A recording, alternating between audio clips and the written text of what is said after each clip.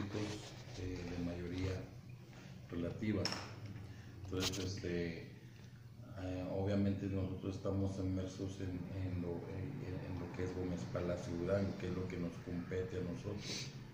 ¿sí? Aquí, en, aquí en Gómez Palacio Durango, ahorita en la lista por el distrito 12 va Carlos Rosales Arcaute, por el distrito 11 va Mari Carmen Ábalos, este, por el distrito 10 Claudia Galán. Distrito Federal con cabecera en Gómez Palacio, que es el Distrito Federal 02, va la licenciada Liliana Estrella a través de, Ah, de Movimiento Ciudadano.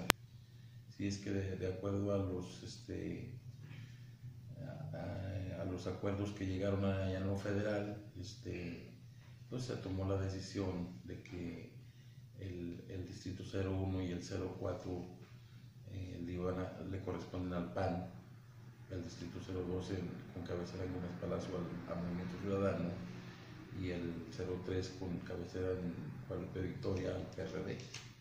Entonces así quedó distribuido a nivel federal, ¿sí? correspondiente a los acuerdos a los que llegaron a, a nivel nacional. Por eso así se distribuyeron los cuatro distritos y, a- y el 02, que es con cabecera en Gómez Palacio, le tocó a Movimiento Ciudadano Ujú, y Liliana Estrella se registró por Movimiento Ciudadano. ¿sí? ¿Ya está listo eh, su partido en la cuestión de la organización en vistas al próximo proceso electoral? Sí, claro que sí. Este, nosotros aquí contamos con, con un, un secretario del Ejército Electoral, que es lo, lo primordial para el día de las elecciones.